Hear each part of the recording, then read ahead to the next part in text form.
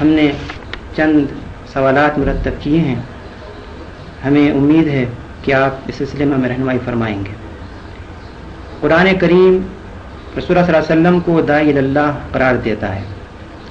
سیرت پاک صلی اللہ علیہ وسلم کی روشنی میں آپ ایک دائی کی کون سی اہم خصوصیات قرار فرمائیں گے؟ امریکہ میں اور کینیڈا میں جو اللہ کے بندے تحریک اسلامی کے لیے کام کر رہے ہیں، ان سب کو میری طرف سے سلام پہنچا دیجیے۔ میں زیادہ دیر تک بات نہیں کر سکتا، اس لیے مختصر طور پر آپ کے سوال کا جواب دیتا ہوں۔ قرآن کریم میں ایک آیت ہے، جس میں ایک دائی کی اہم خصوصیات کو بیان کیا گیا ہے۔ اور وہ یہ ہے کہ من احسن و قلم من دعا اللہ و عامل صالحم و قال انمسلم من یعنی اس شخص سے اچھی بات اور کس شخص کی ہوگی۔ جس نے اللہ کی طرف بلایا، نیک عمل کیا اور کہا کہ میں مسلمان ہوں۔ خدا کی طرف دعوت دینے کا مختصر مفہوم یہ ہے، جو قرآن سے معلوم ہوتا ہے۔ اور قرآن میں دائی کا کی اولین خصوصیت یہ بیان کی گئی ہے۔ کہ اس کی دعوت خالص اللہ کی بندگی کی طرف ہو، خالص اللہ کی پرستش اور اس کی عبادت کی طرف ہو، خالص اس کی اطاعت کی طرف ہو اور اس کے قانون کی پیروی کی طرف ہو۔ دوسری بات جو اس میں فرمائی گئی ہے، وہ یہ ہے کہ وہ عاملہ صالحہ نیک عمل کرے۔ اس کا ذرا سبھی آدمی غور کرے تو اس کا مفہوم صاف اس کی سمجھ میں آ جائے گا کہ اللہ کی طرف دعوت دینے والے کا اپنا عمل اگر درست نہ ہو، تو پھر اس کی دعوت کا کوئی اثر نہیں ہو سکتا۔ جس چیز کی طرف وہ دعوت دے رہا ہے، اس کا مجسمہ ہونا چاہیے اس دائی کو۔ اس کی اپنی زندگی میں خدا کی نافرمانی کا کوئی اثر نہ پایا جائے اس کے اخلاق ایسے ہونے چاہیے کہ کوئی شخص اس کے دامن پر ایک دھبا نہ دکھا سکے۔ اس کے گرد و پیش کا ماحول، اس کا معاشرہ، اس کے دوست، عزیز، اقارب، سب جانتے ہوں کہ یہ ہمارے اندر نہایت بلند اور پاکیزہ کریکٹر کا انسان ہے۔ اس کے اخلاق ایسے ہونے چاہیے کہ کوئی شخص اس کے دامن پر ایک دھبا نہ دکھا سکے۔ اس کے گرد و پیش کا ماحول، اس کا معاشرہ، اس کے دوست، عزیز، اقارب، سب جانتے ہوں کہ یہ ہمارے اندر نہایت بلند اور پاکیزہ کریکٹر کا انسان ہے۔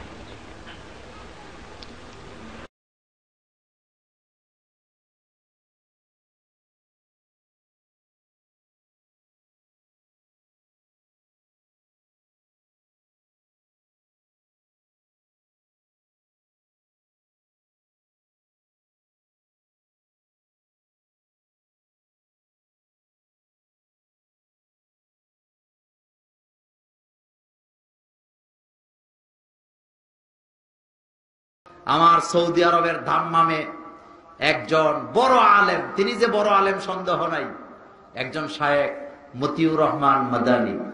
এই লোকটা যেই লোক সারা পৃথিবীর বড় বড় স্কলারদেরকে আলেম মনে করেন না, সমস্ত আলেমদের বিরুদ্ধে কথা বলেন, আলেমকে আলেম হিসাবে মানেন না, মোমেনের বিরুদ্ধে কথা বলেন, মুসলমানের দুষ্টুতি তালাশ করেন, তিনি কখনো মুসলমান হতে পারেন না, মোমেন হতে পারেন না, তিনি বড় আলেম হতে পারেন না, তিনি কারও না কারও দালালি করা শুরু করে দিয়েছেন। এই লোকটা যেই লোক সারা পৃথিবীর বড় বড় স্কলারদেরকে আলেম মনে করেন না, সমস্ত আলেমদের বিরুদ্ধে কথা বলেন, আলেমকে আলেম হিসাবে মানেন না, মোমেনের বিরুদ্ধে কথা বলেন, মুসলমানের দুষ্টুতি তালাশ করেন, তিনি কখনো মুসলমান হতে পারেন না, মোমেন হতে পারেন না, তিনি বড় আলেম হতে পারেন না, তিনি কারও না কারও দালালি করা শুরু করে দিয়েছেন। যেই ভিডিওগুলা বানাইছেন, এগুলো আপনি আপনার অনুসারীদেরকে বলেন ইউটিউব থেকে যেন ডিলিট করে দেয়। আর যদি আপনি সেটা না করেন তাহলে আমরা কিন্তু হাজার হাজার লোকদেরকে আপনাদের বিরুদ্ধে জায়গায় তুলবো। পরে কিন্তু হজম করতে পারবেন না। যেই ভিডিওগুলা বানাইছেন, এগুলো আপনি আপনার অনুসারীদেরকে বলেন ইউটিউব থেকে যেন ডিলিট করে দেয়। আর যদি আপনি সেটা না করেন তাহলে আমরা কিন্তু হাজার হাজার লোকদেরকে আপনাদের বিরুদ্ধে জায়গায় তুলবো। পরে কিন্তু হজম করতে পারবেন না।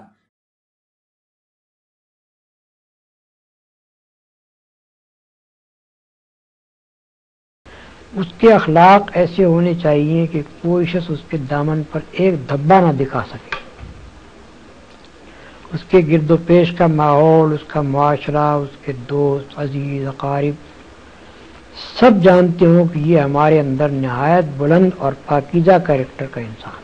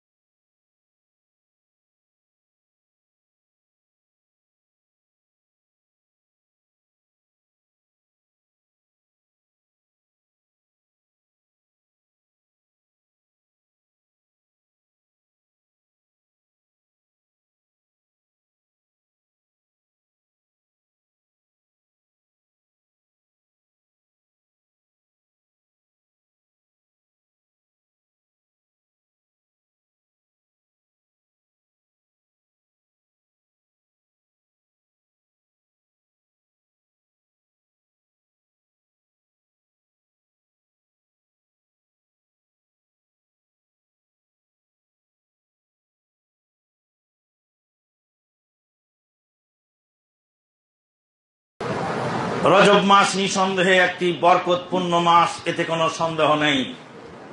রজব মাসে বিগ্রহ বন্ধ রাখত মক্কার কাফের বেদিন বেইমানেরা দুঃখজনক হলেও সত্য, আমরা আজকে মুসলিম হয়ে আমাদের যুদ্ধ বিগ্রহ বন্ধ নাই। যুদ্ধ বিগ্রহ করার সুন্দর পন্থা একদম পরিষ্কার করে দিয়েছে। সেই পাশ্চাত্যের গণতন্ত্রের মাধ্যমে, যেটার মাধ্যমে গোটা জাতিকে বিভক্ত করে স্বামী এক দলে, স্ত্রী আর এক দলে, বাপ এক দলে, বেটা আর এক দলে, ভাই আর এক দলে, আরেক ভাই আর এক দলে, এক ক্লাস ফ্রেন্ড এক দলে আর এক ক্লাস ফ্রেন্ড আর এক দলে।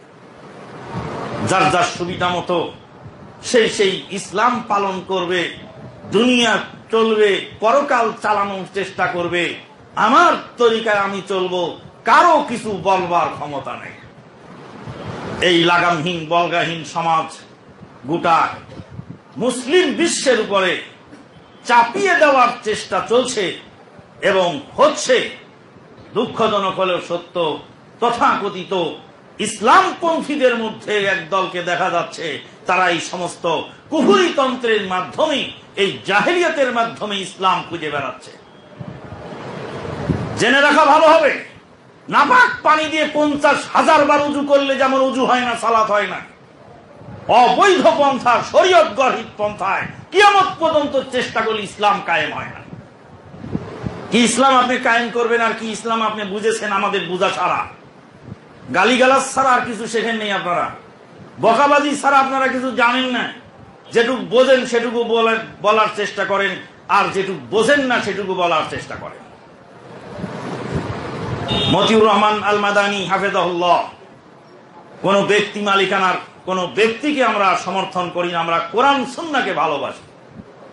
মতিউর রহমান আল মাদানী হাফেজাহুল্লাহ, তিনি বাংলা ভাষার প্রথম স্থান অধিকারে আছেন দাওয়াতি ময়দানে।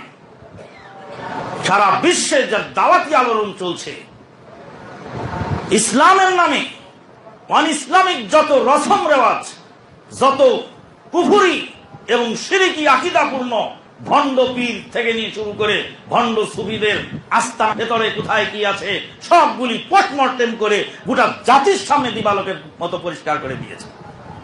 মতিউর রহমান আল মাদানী সাহেব যখন সুফিবাদের বিরুদ্ধে বক্তব্য দিলেন, আলহামদুলিল্লাহ খুব ভালো মানুষ। যখন ভণ্ড পীরের বিরুদ্ধে বক্তব্য দিলেন, আলহামদুলিল্লাহ ভালো মানুষ।